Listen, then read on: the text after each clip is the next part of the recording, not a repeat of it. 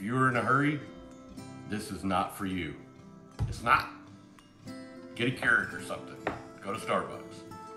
This is for that Saturday, Sunday morning when you got a little bit of time. I don't know how much you have used it, but I can tell you I think it's one of the best and cheapest ways to make a coffee